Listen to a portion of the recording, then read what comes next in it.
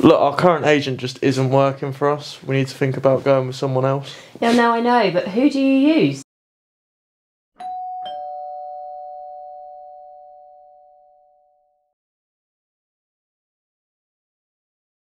Who is it? It's Parkers.